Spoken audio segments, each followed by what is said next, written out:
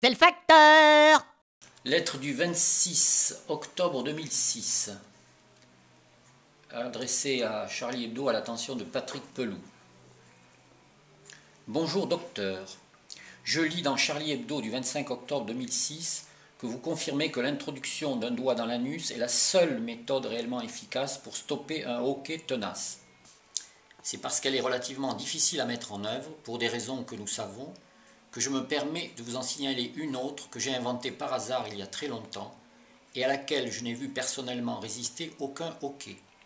Elle est également plus efficace que le verre d'eau et l'intéressé peut, si nécessaire, la mettre en œuvre lui-même sans aucune aide extérieure que des indications verbales ou téléphoniques.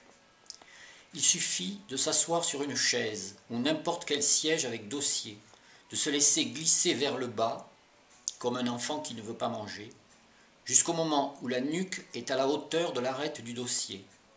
À ce moment, il faut laisser doucement pendre la tête en arrière, sous l'effet de son propre poids, ce qui lui donne d'ailleurs par rapport au tronc une position typique des danses de possession décrites par les anthropologues. Et le hockey s'arrête en quelques dizaines de secondes. Je n'ai jamais vu, que ce soit dans ma famille ou sur mon lieu de travail, de hockey résister à cette posture. Il est sans doute préférable que l'appui soit dur et coupant que rond et rembourré. On n'a rien sans peine.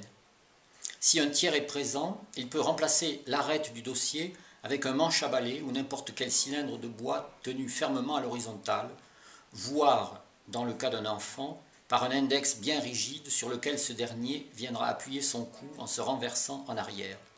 Dans ce dernier cas, à condition d'être au moins deux, la méthode ne nécessite finalement aucun matériel et peut se pratiquer assis sur un rocher en pleine nature.